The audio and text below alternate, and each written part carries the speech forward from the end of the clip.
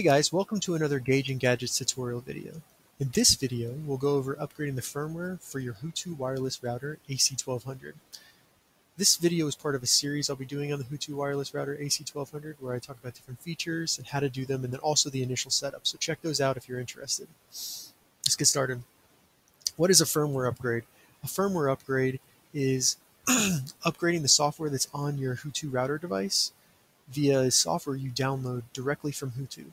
So these software firmware upgrades, they can improve, they can improve the product performance, increase the security, and even add new features. So HooToo will regularly, you know, they're trying to make their device help more up to date, maybe increase security holes they find in their software. So they'll provide these updates, and then you can just download them and install them to your router. And we'll talk about how to do that right now.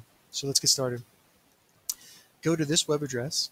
I'm going to put a link to this in the description, and then download the firmware. Let's do that right now. Okay, so this is what that web address is going to look like. We're going to find firmware right here, and then we're going to click this .rar. So that's going to give me the ability to download, download it.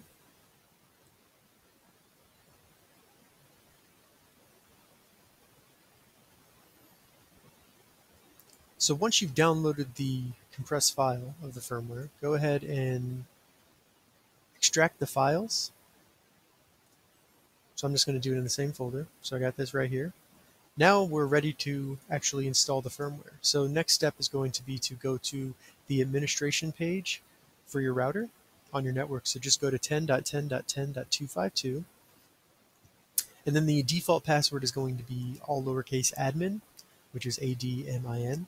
So type that in and get in there. Once you're there, you need to go to the firmware upgrade page, which is under system tools. So it's going to look like this. System Tools, and then Firmware Upgrade. Go ahead and find the file. So this is the uncompressed file. Open it, and then select Upgrade. Are you sure you want to upgrade? Yes, I am. So now it's going to go through the process of just rebooting the machine and installing everything. And after that, we should be good to go.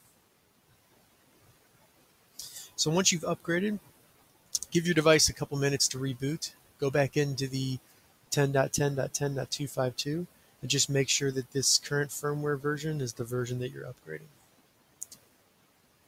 So thank you for watching. If this video helped you, go ahead and rate that. Give it a thumbs up. It really, really helps me when you do that.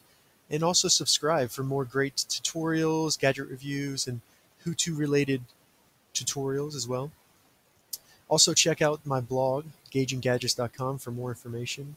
Thank you so much for watching.